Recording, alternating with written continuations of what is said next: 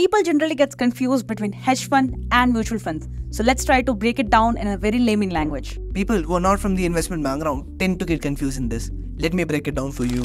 Mutual funds are run by the financial companies. Many people like you and me invest in these financial companies, and the companies invest on the behalf of us in the short term investments like bonds, debentures, government commodities, etc.